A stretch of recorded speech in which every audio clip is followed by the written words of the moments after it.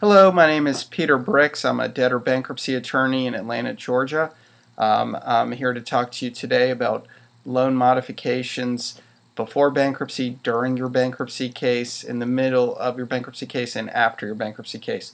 Um, uh, I just want to read you this quick disclaimer before we get started. We are a debt relief agency proudly assisting consumers in filing bankruptcy. However, there is no attorney client relationship with the viewer of this message unless there is a fee agreement. Your situation is unique to you, and we would need to consult you individually before we could offer you applicable and accurate legal advice. This information should be used only for educational purposes.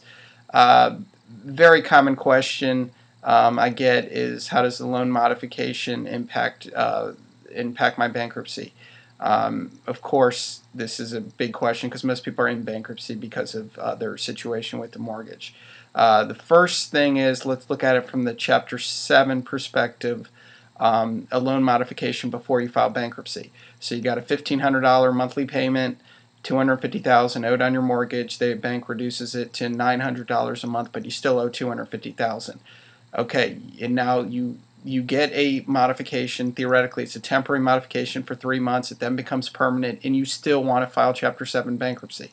Okay, do you does your modification survive the bankruptcy? Okay, first question is do you reaffirm uh, do you reaffirm it? if you reaffirm it in the bankruptcy, it certainly does. That's what a reaffirmation is.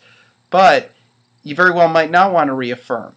If you don't reaffirm, then you're in a situation, and the reason you might not want to reaffirm is we just said the balance is 250000 What if the house is only worth 200000 So that monthly payment might be low, but you're in a negative position with your equity.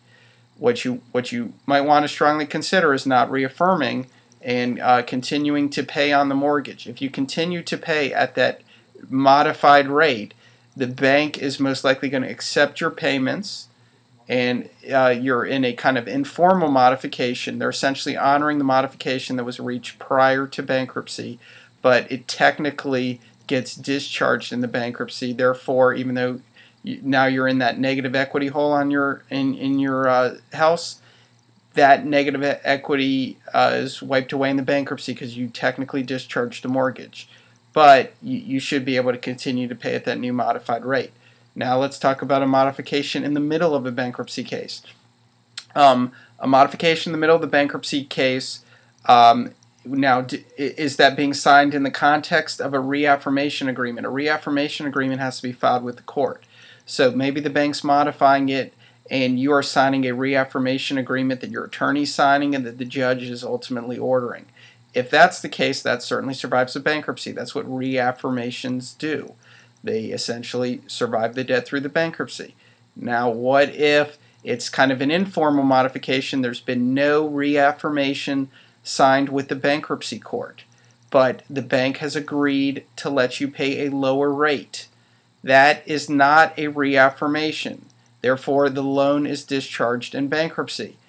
Now, essentially, you have an agreement with the bank uh, where, the, where they're accepting your payments, you're paying at this lower rate, and the bank, but there is no official note. It's not showing on your credit report. The bank cannot sue you for a deficiency. You discharged the note in bankruptcy, even though you, quote, modified it. That is um, a situation where the bank will probably honor the modification. So you kind of almost in a way get the best of both worlds. You discharge the debt and you have a new note. Now let's take the situation where you've approached the bank about modifying after your discharge in Chapter 7. Once you discharge your a debt in Chapter 7, it is discharged. Code Section 11 USC 524. That debt is discharged. You can't come back in and and and let it be uh, and essentially reaffirm the debt after the discharge. That is not allowed. So the bank might approach you, or you might approach a bank about a modification, and there might be paperwork signed. Look carefully at that paperwork. A lot of times that uh, that paperwork is going to have in a lot of places. Most likely, this is not an attempt to collect debt. It does not affect your discharge. We're just modifying the uh, lien rights. That that's what you're doing. You're modifying the lien rights. The debt was still discharged in bankruptcy. It cannot be uh, brought back into play.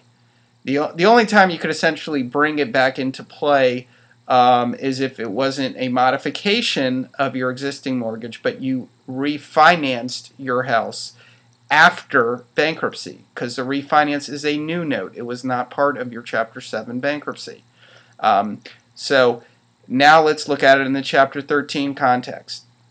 Chapter 13 context, you wouldn't be modifying a house you're surrendering. So we're talking about a Chapter 13 debtor who's keeping their home. They probably went into Chapter 13 because they had mortgage arrears. You you're you don't in that scenario where you make it to the end of your Chapter 13 discharge, you don't surrender your home.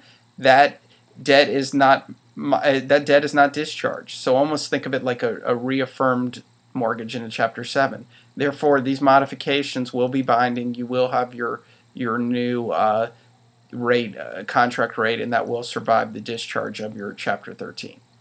Um, and that covers uh, loan modifications in Chapter 7, Chapter 13 bankruptcy.